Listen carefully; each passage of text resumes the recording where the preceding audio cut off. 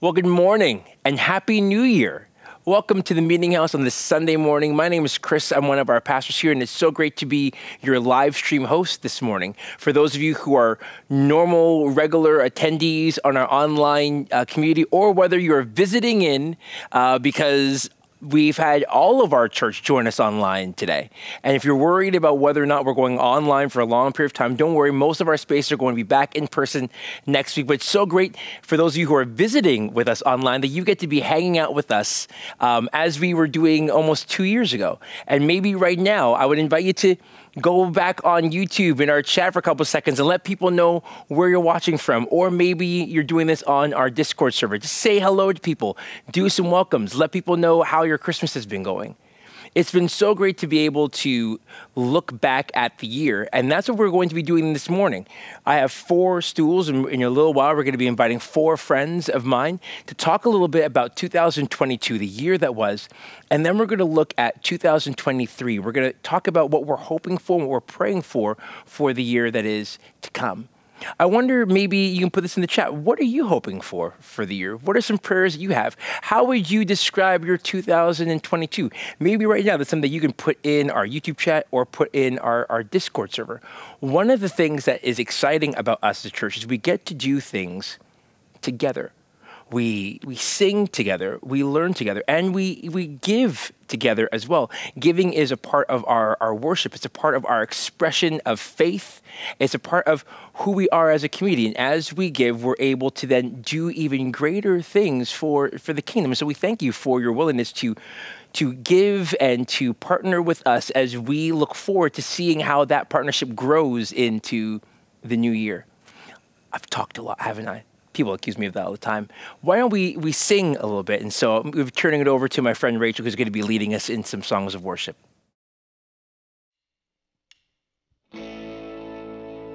Well, good morning, everyone. We're excited to be together this morning. We want to give thanks to the Lord, for He is. Good. Yes, He is good. Psalm 107 says, Let the redeemed of the Lord tell their story and we are the redeemed of the Lord. So let us today tell our story of God's goodness. For we cried to the Lord in our times of trouble, and He heard us. He saved us from our distress. He brought us out, out of darkness, utter darkness, and He's broken the chains that have tended to bind us. So we have a story to tell of God's goodness. I'm sure you remember Miriam when the people of Israel came through the waters on dry land.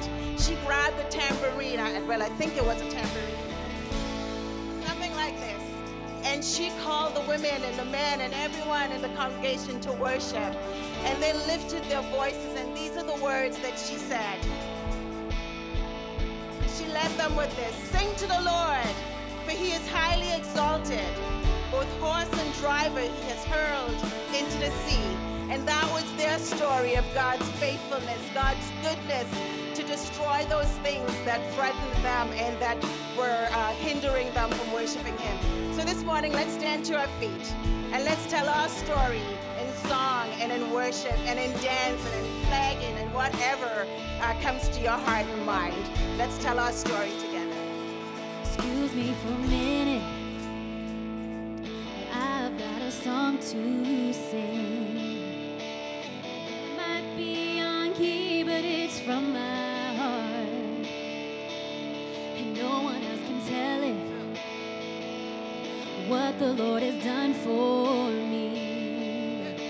And this might take all day, so I better start right now. It might get loud, it might get loud. Heaven's coming down.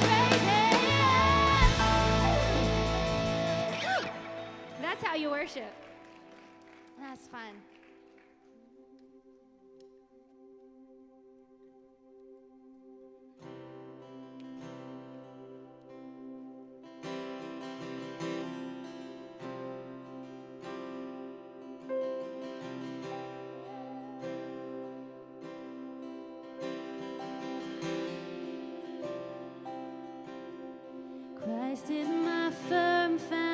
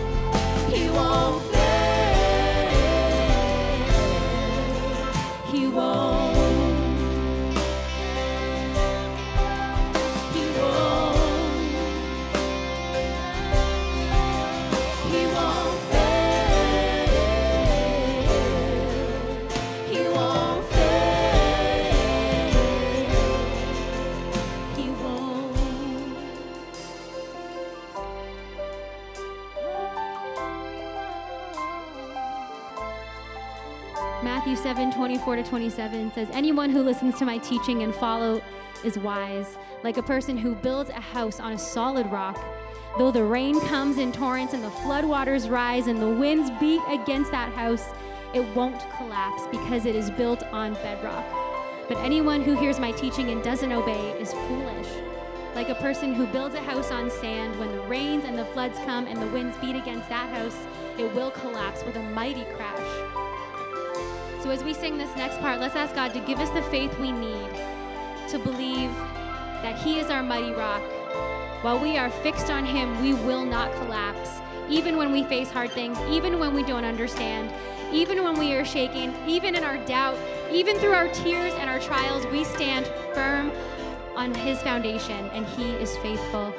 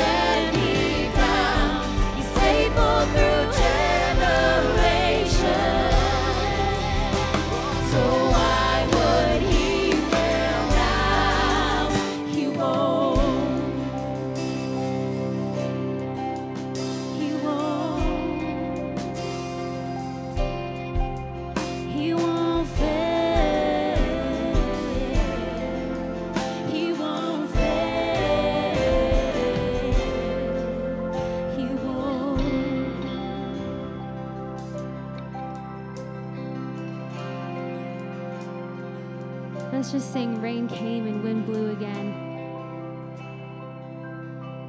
It's a good reminder that we're not alone.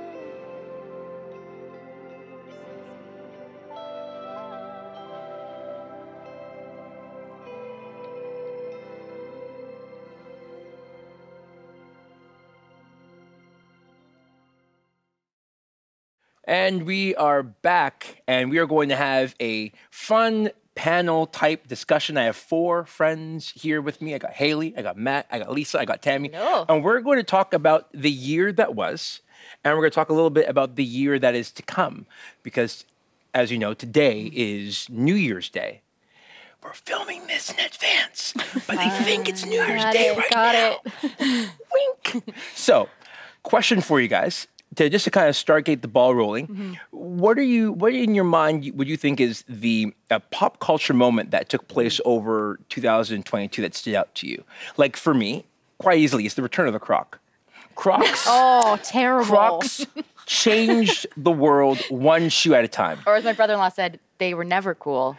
Well, maybe you, Agreed. I have a brother-in-law, pair. and I, I need to have a conversation. Divisive already. We're- Well, the last year we were, not this year, right? Yeah. So, but but like, but in all honesty, like, what were some things that took place, pop culture wise, in in the stratosphere of the world that stood out to you over the course of, of the year? Matt, can I start with you? Is that okay? Yeah. Well, Canada made the World Cup. We did. It's memorable. Yeah, we did. Mm-hmm. We transitioned out of the monarchy. Yes. The Queen, the Queen has has left us. God save the and king. you know, whatever you think about the monarchy, that's kind of an interesting moment to just mark a milestone in in culture. And I think on a an even All more our lifetimes. That's Yeah. right, exactly, That's- right. yeah, like our For most people who are alive, Yep. they only remember the Queen. Um, Mm-hmm. And I think on a more serious note too, it's hard to look at this year and not. And to, it's not. It's hard to look at this year and not acknowledge what's happened in the war in Ukraine Mm-hmm. as well. Um, and of course, we continue to process that, but that's left a mark on all of us. And I've had the privilege of interacting with refugees from Ukraine and seeing what that's Mm-hmm. done to families and people. Um, yeah, so that was that's one that's on my heart as well. Lisa, Tammy, Haley, one of the three of you. I Something? mean, I can shift gears completely. Ben and JLo got back together and got married. So that's a major jump from the war in Ukraine to a marriage that just like made everyone happy. But I mean, it happened. From from things falling apart to things coming together. I love Exactly. it. Exactly. We're, we're bookending things segue. here. We're Yeah, bookending there you go. Ladies, what about you? Uh, listen, I had to Google pop culture. That's my world. I was like, I don't know. Like, unless I hear about it around the lunch table, Yep. it doesn't really affect my world. So I respect that. Yeah. So what we've learned today is that Google, in and of itself, is a pop culture moment for Tammy. There, There you go. go. There you go. Yeah. And Lisa, what about you? you you're closing this con- this conversation out. Well, and admittedly too, I was like, this year's been long, like mm-hmm. because there's been large things that have happened, like geopolitically. But I was like, in terms of like celebrities, I was like, who had passed away this year? Was stuff I looked at, and so like, sh- I actually forgot the Queen passed away until I was going through them, which I was like, how did I, my brain forget that point? But I remember the jokes at the start of this year that Betty White had just like pieced mm-hmm. out and was mm-hmm. like, I'm not going to do 2022 because she died the day before, died on New Year's Eve, 2021. And, but she was this like legend film Yep. Mm-hmm. and humorous and so I don't know if, if that was like a harbinger. I remember at the time, is this gonna be a harbinger of bad things? And you know, there was and has been a lot of hard stuff this year. Yeah. Yeah. But the fact that she is a humorist and a lighthearted person helps give me like still like perspective and joy and hope and all that stuff. Mm-hmm. Mm-hmm. So in, in light of in light of that, if you were going to put 2022 into a sentence, into a, a phrase, not a paragraph, that's my department, the overtalker. But if you were going to put 2022 into a sentence, what would that sentence be? I got one. Go for it. I've been thinking about it. It's been beautifully challenging. Mm. So not mm. necessarily a sentence, but it's been beautifully challenging. So we'll Yeah, leave it mine, that. mine builds on that too. I would have taken a more personal angle on it and said, encountering Jesus in the unexpected mm-hmm. Yeah. Mm-hmm. and realizing that that's where he lives, is in pain and suffering, mm. um, and seeing the transformation he brings about precisely in those moments. I think encountering Jesus in the unexpected would be one for me. Mm.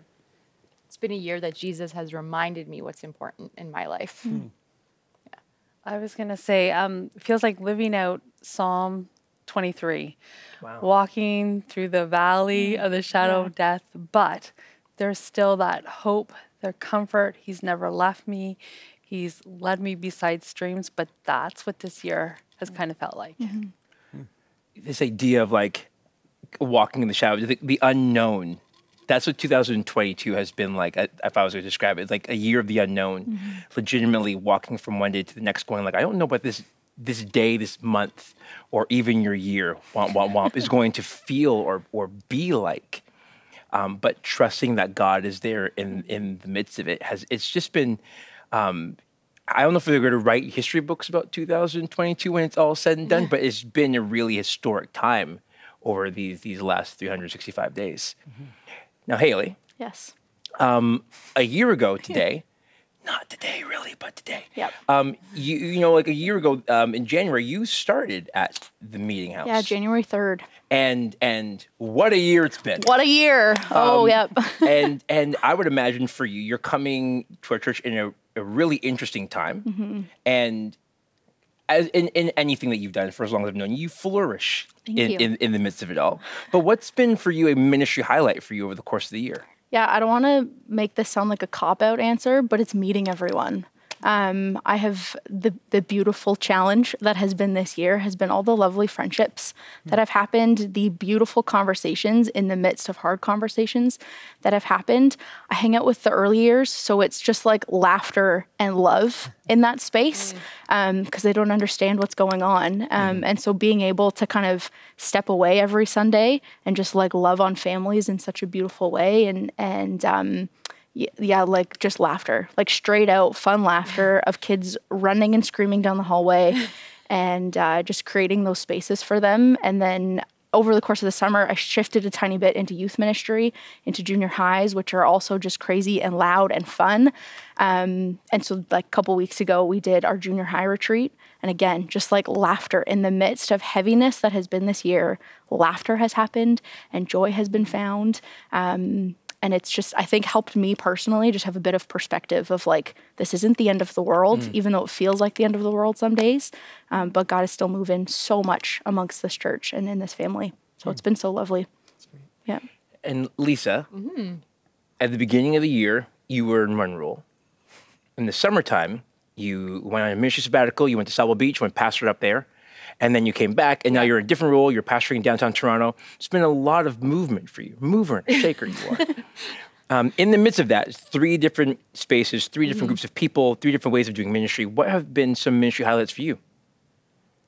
surprised I am still here. I know that's like when I preached the other week for the live stream uh, earlier this fall. It was like, oh, you're still here. I'm like, yeah, You should, you I'm should have still played the here. guest card. You should have played the guest card. Actually, I'm a ministry guest here. yeah, still here. Um, oh, that I mean, similar to what Haley just said, that it's like if you just pay attention, God is doing something in the group of people that you're with or in the town that you're in.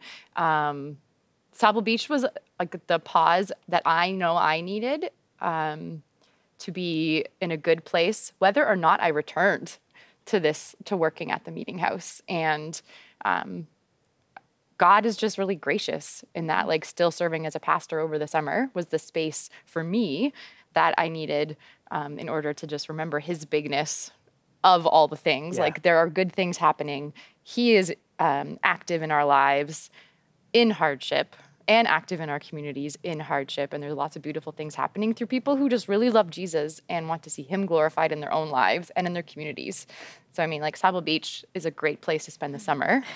FYI. um, yeah. But yeah, like there's just lots of good things happening.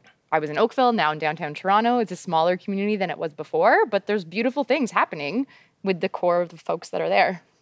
So there's a theme of beautiful things. Yes. Mm-hmm. Tammy, Matt, I want to give you an opportunity. What, what are some beautiful things in, mm-hmm. in from the seats that you sit in that you've been able to see or even experience yourselves over the course of the year? I want to hear what Tammy has to say. Nice, lovely. I think for me working in operations and just all the changes we've had to make, having to to just um, adapt and learn to equip the church as it's been changing, as it's been moving into a regional model. It's been exciting and challenging to be able to go to different locations to see how they are moving out of the theaters into different buildings. Tammy saved my life. She saved downtown Toronto's life at the end of September. Without her, we would have been like, what do we still need? But she like shrank everything down from like big bins into like every like four bins became one. So it's like you saved Yeah. our life. it's been and that's that's the part that I think I like. I love going to places and being like, oh, this is what we can offer you. This is how we can help mm-hmm. you and support you, and being invited in and being like, yes, like we have gifts that we can do and we have ways we can resource you. So that's been exciting this year and challenging. Mm. That's the body at work right there, isn't it? Yeah. Mm-hmm. Mm-hmm. Yeah, I would say for me a couple things. Personally, I think, hey, I mean, we're still coming out of COVID, right? Mm. Remembering that, um, it's been a cool year to be able to reconnect with people relationally in a church context and meet some new faces at the same time, people that are joining our community. And in a way, I feel like that's provided a bit of a relational backdrop and fabric for all the things we've gone through is the ability to now reconnect and be in relationship with each other in person a little bit more. Um, but from a ministry perspective, Carmen and I have had the opportunity to travel to some of our different communities over the fall and just connecting with people, being face to face with people, having time to heal, to listen to one another, to actually slow down and process with one another, and to do a little bit of dreaming and hoping for the future as well. That's definitely a highlight for me from this past year. So I'm going to turn back to you if that's okay, because I want to ask you about. Do I have a choice? You you kind of you kind of don't, because I'm looking at you. I'm a good team player. Let's do it. Once you're making eye contact, it's kind of like, well, I guess the question's coming have my to way. answer the question Um, you know, you you you sit in a really important seat right now, uh, uh, interim senior director of our church, kind of helping us figure out this this gray middle of transition, of what's next, what's to come, what are some things that you've learned about yourself, about the body of Christ, about about Jesus himself that's kind of helped you through the course of the year? Yeah, a lot of things. One of the things I've learned is just the importance of listening to one another and validating each other's experiences. Mm. Like really actually doing that, empathetically entering into your past, mm. your personality, your perspective on things, which is going to be different than mine. And I can see that as a threat. I can see that as something that creates distance between us, or I can see it as a learning opportunity and an opportunity to build connection with one another, even in our differences. And I think that's a really powerful and important part of the discipleship process is us not necessarily seeking to dilute or sweep our differences under the rug, but walking on a journey together towards yeah. Jesus, learning from each other along the way, and validating each other's experiences, like I said, authentically in that process. And I'm realizing that we, including myself, all of us, we need, we need practice at that. Hmm. Mm-hmm. We need equipping. It's rare to really be able to do that, to enter into someone's experience who sees things and has experienced things differently than you, especially when hurt is involved but to be committed to walking toward Jesus together and allowing Him through the Holy Spirit to transform us, to heal us, to move us forward. I'm just learning and have a fresh appreciation for the importance of that. And that gives me hope that there's a big opportunity for us to grow more practiced in the way of Jesus, in working together to build unity and walk towards Him, even in our differences. And Tammy, you you have so you have one person who is in front of, of everything and then you're kind of like, I'm good, kind of sitting back and kind of chilling. it's kind of like waving quietly, like, but you, you're, the role you play, Lisa just described it, is, is so mm-hmm. valuable and, and, so important. So mm-hmm. I ask you the same question, like, what are some things that you've learned about, about yourself, about the church, about Jesus that has mm. kind of shaped how you've walked through the year? I think this year, the, something that I've been challenged about is, is speaking up.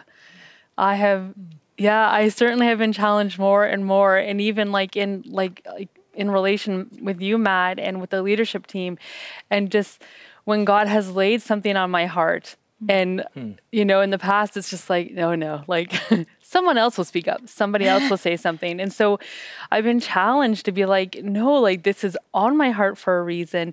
And and it's been good to speak up and it's been good to be able to work through it. You know it doesn't mean i am right but it, it's good to be able to voice it and then walk through it and get context and understand it mm-hmm. and hopefully learn and grow.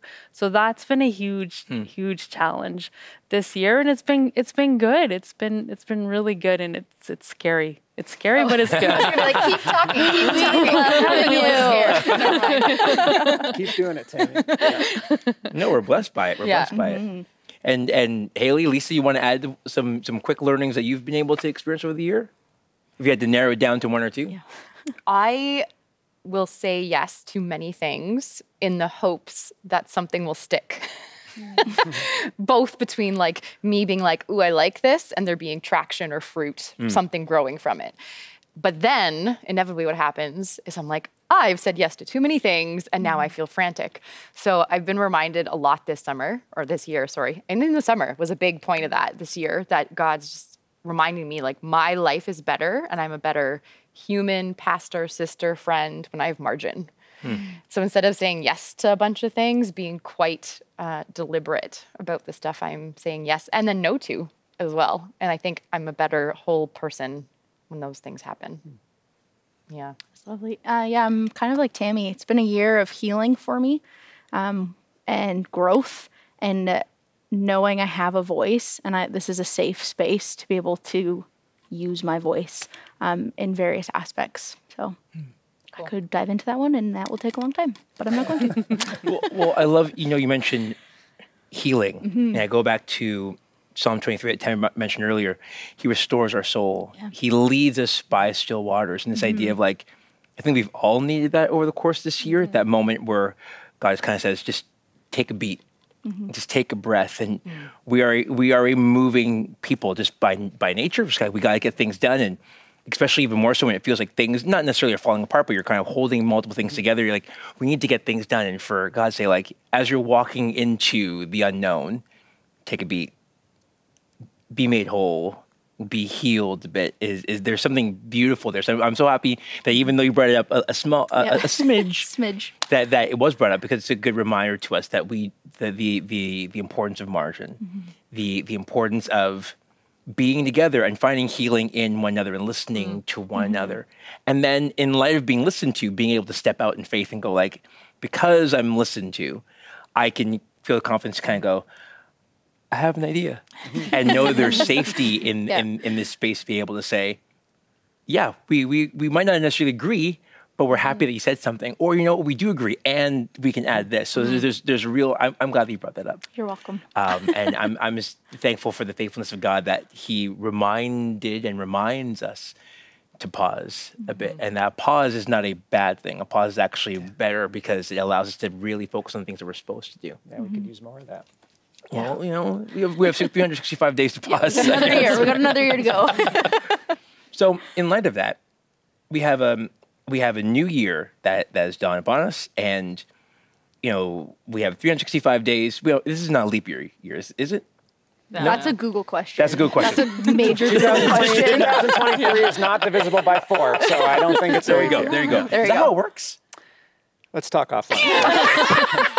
That's a Google answer. We'll talk on that. That was a We'll talk on that answer. afterwards, all right? Okay. Um, so, so in, What do we in light of that, I, I, I don't obviously. I would just sorry. ask Matt. I was asking Matt if I have Google. Um, what would be a, a prayer that you'd have for for the next year? Matt, I'm going to start with with you in in, in your seat of of leadership and, and influence for for us as, as a as a church body. What would be a prayer that you would have um, for for yourself and for the church moving forward as we go into the year? Yeah, you know what's interesting is roughly every 500 years or so since Christ was on the earth, the church has experienced significant change or reformation, mm-hmm. almost like clockwork mm-hmm. over the past 2,000 years. And I feel like even before COVID, we were already starting to experience the next great reformation in the church. And COVID just had a way of accelerating and exposing what was already hmm. happening. And bringing to light some of the deficiencies of the way we, the global church, um, including us as a church, some of the ways we've been we've been doing things, um, and it really was a wake up call for us. And even beyond COVID, I think it's clear if we're paying attention, God's saying things to and through the church to the world. And some of them are hard and they're difficult truths, but they're always good when God's saying them. And they always bring good things if we're paying attention and we're faithful. And I feel like we're in one of those once every 500 year moments. I really do. And it doesn't happen overnight. But it's hard when you think about the amount of change we're experiencing, not just as individuals, but as a church, as a global church. But there's so much hope in that. Mm-hmm. I really feel that. I think that we're at a point in time, we're gifted to live in an era where God is unlocking new possibilities mm. about what could happen next with His church. And we have the privilege and opportunity of being part of that story. So, my prayer really is that the broader church, but also us at the meeting house, that we would catch fresh imagination for what this hmm. beautiful, messy thing called the church can be and how it brings hope to the world. Like, what does it look like to have a clean slate? Which can be intimidating, but that's inspiring and that's an hmm. opportunity to say, hey, Jesus, where are you taking us? Yeah. What new thing are you doing? With all of our pain and baggage along for the ride, mm-hmm. right? But mm-hmm. what's a fresh imagination we can catch for what the church can look like now and in the future? That would be my prayer for us. Hmm. Friends, anything you want to add in there? Like, what's a what's a prayer that you'd have for for this upcoming year Yeah. for for the church? we spent time as pastors in December, actually a whole staff team in December, like going through a process of like grieving and mm-hmm. celebrating and sharing hopes with each other. And mine would be what I shared that day with our staff team that we would be able to recognize what from old or what was the meeting house and this church that is still beautiful to hold on to and letting go of some things that aren't helpful um, while being super courageous hmm. to mm-hmm. go into what's new. And I say courageous because that is, I think, the tricky part about balancing the both is we want to uh, honor and celebrate and sometimes cling to the past. and so it takes courage to say, hey, what's new? Let's jump into that. So that's my prayer for our church. And I think for just like me personally too. Yeah. I, I think um, my prayer would just be that we would follow Jesus no matter what. No matter what he asks us to do, knowing that it can be hard, but it's still it's so much better. It's so much hmm. better hmm. to be with him and follow him. And I'd also my other prayer is just for healing and for hmm. joy. Yeah. I think he wants to give us both of those things and that can only happen if we we follow him no matter what. Yeah. Yeah, mm-hmm. it's good. Um, I think we need to be courageously bold to dream and to heal. Like I Yeah. know that sounds like I'm just summing it up, but that's really what's on my Amen. heart that we are able to do all of those things as a church, knowing we'll get it wrong, but knowing we have that grace from the Lord to keep moving forward and that he sees the bigger picture in all of this. And so we just need to be courageous and trust him and dream and knowing that those dreams are from him and that we have those things um, to to look forward to and to keep moving forward in our in our context at the meeting house but also as a broader church. I agree with matt. I think he's doing something far more than we can ever imagine or dream of and so we need to just um, yeah faithfully keep moving forward and uh, and knowing that he has us. He has us exactly where we need to be in the midst of all of the hard and that he has this year. We're all we're i mean it's not even january 1st and we're like what's what is going to happen in the next January sorry it is and it isn't. Sorry. Exposed. sorry. But knowing those 365 whatever if it is a leap year if it's not a leap year he knows everything that's going to happen this Yeah. year. And so we can just be courageous and keep mm. walking forward. Oh, Matt, you mentioned the idea of, of reformation, and I'm I'm somebody who's on Twitter a lot, and you're able to see these discourses of men and women who are um, dealing with the the deconstruction of faith in real time, who are dealing with the politicizing of faith in real time, the the constant, the regular arguments about this and that in ministry, who's allowed, who's not allowed. It's but very loudly on Twitter. And the other thing you're able to see is there is an awakening that is taking place, a desire to experience the Spirit's move in mm-hmm. a real way that doesn't necessarily benefit one sort of person or one sort of denomination or one sort of church, but benefits the kingdom and benefits those who would call themselves sons and daughters of the Most High. And there's a beautiful, I love that picture of what what what what, what the reforming does is it allows us to have a better sense of the spirit. That's right. And so may that take place in our mm-hmm. lives. May that take place that mm-hmm.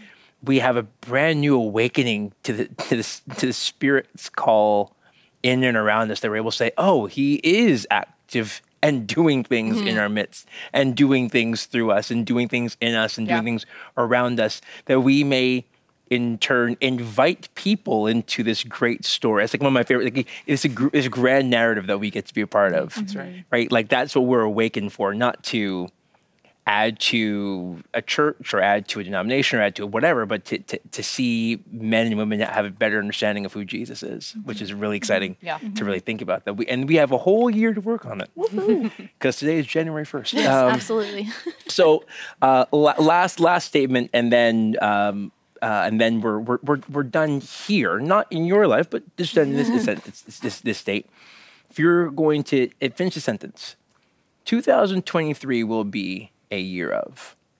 What would that What would that be? If we were to finish that sentence, uh, a year of healing